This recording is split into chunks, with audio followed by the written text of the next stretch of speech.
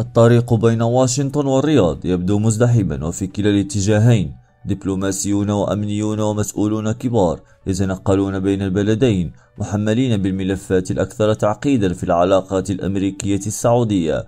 وقد ارتفعت وتيرة هذه التحركات بعد الأنباء عن لقاء أول بين بايدن الرئيس وولي العهد السعودي الشهر المقبل في مكان ما في الشرق الأوسط وفي أول جولة للرئيس الأمريكي في المنطقة منذ توليه مقاليد البيت الأبيض. في أواسط الشهر الفائت كان مدير المخابرات المركزية في زيارة سرية للمملكة اجتمع بولي عهدها وحاكمها القوي ووصفت نتائجها بالإيجابية وفائقة الأهمية.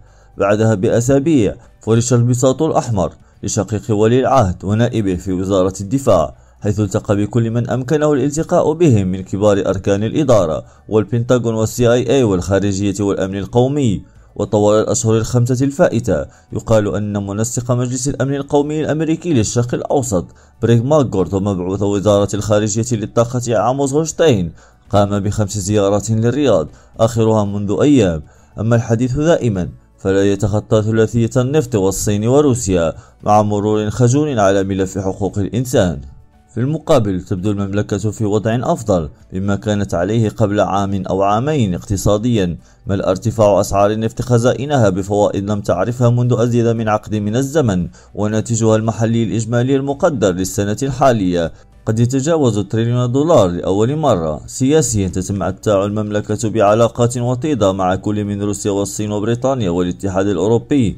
وأنجزت مصالحة خارجية وعلاقتها مع تركيا تشهد انطلاقة جديدة بعد الزيارة الاعتذارية التي قام بها رجب طيب إردوغان للمملكة وحوارها حتى مع جارتها اللدودة يشهد تقدما وإن كان غير كاف حتى الآن كما قال وزير خارجيتها فيصل بن فرحان.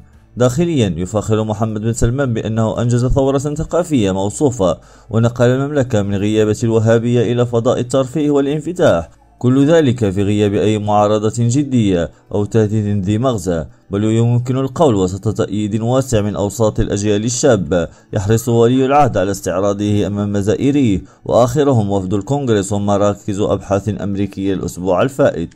في مثل هذه المناخات تتكثف الاتصالات لاختيار الزمان الأنسب لعقد أول لقاء منتظر والأهم اختيار مكانه فالأمر هنا ينطوي على دلالات سياسية ومعنوية فائقة الأهمية. من حيث الزمان يبدو الجانبان في عجلة من أمرهما.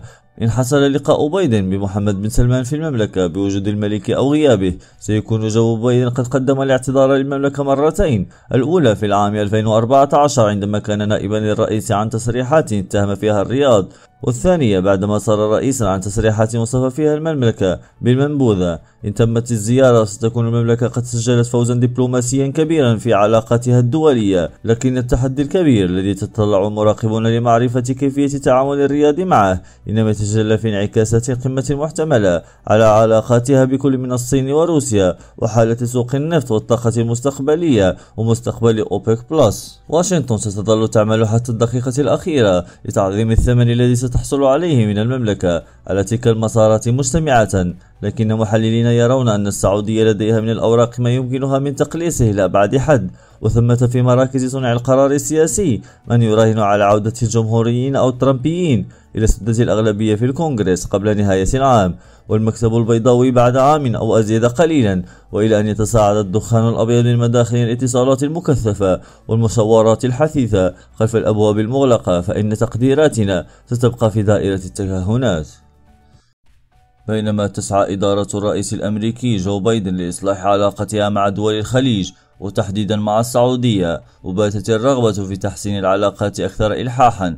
تعمل روسيا من جهتها على توطيد علاقتها مع العواصم الخليجية باتجاه مزيد من الشراكات المستقبلية.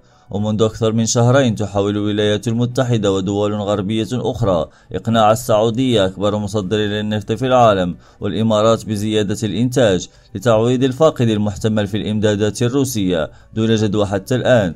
بالتزامن مع تنسيق مشترك تشهده المنطقة وتحديدا بين روسيا من جهة والسعودية والإمارات من جهة أخرى في عدد من الملفات والتي تقوم على مبدأ التعاون والتنسيق في الملفات كافة.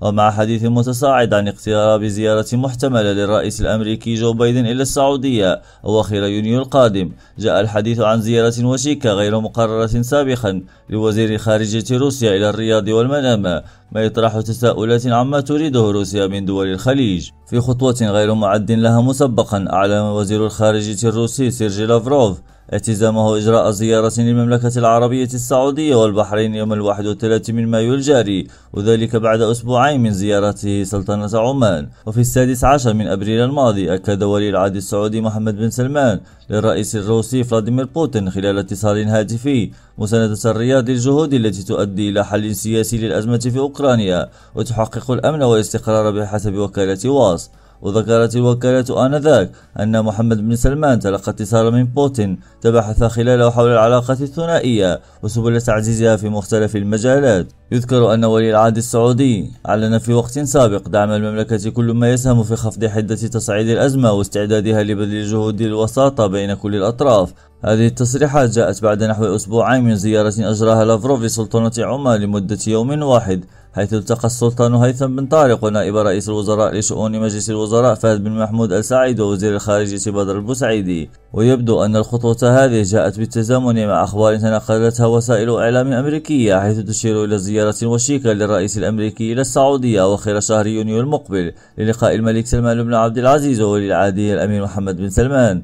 ومن أبرز تلك المعلومات ما نقلته وكالة بلومبورغ عن مصادر أن الرئيس الأمريكي قد يلتقي ولي العهد السعودي وذلك على ما يبدو لإنهاء التوتر المتصاعد بين البلدين منذ الغزو الروسي لأوكرانيا أواخر فبراير الماضي. ونقلت أيضا عن مسؤول في البيت الأبيض أن بايدن قد يزور الشرق الأوسط لحضور قمة لدول مجلس التعاون الخليجي في الرياض خلال يونيو المقبل. هذه المعلومات صاحبتها خطوات مكثفة من البيت الأبيض الذي أكد في السادس والعشرين من مايو 2022 قيام مسؤولين أمريكيين بزيارة للسعودية مشيرا إلى أنهما يبحثا مجموعة من القضايا الإقليمية والعالمية. ويرى الباحث المختص بالشأن الأوروبي حسام شاكر أن تزامن زيارة لافروف للخليج مع التحركات الأمريكية خصوصا مع الرياض أمر لافت للانتباه ومحاولة لشد المواقف الخليجية عموما والسعودية خصوصا بعيدا عن التجاوب مع ما تريده واشنطن من العواصم الخليجية في هذه المرحلة.